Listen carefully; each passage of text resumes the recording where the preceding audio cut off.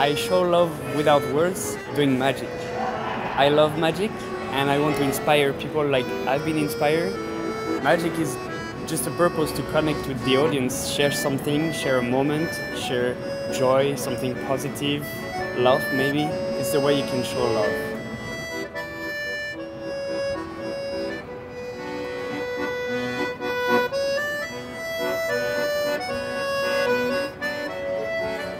Uh, when I do magic, I I don't want to just do a magic trick. I would like to uh, invite people to another world, be somewhere different for an hour. So that's that's why my magic tells stories.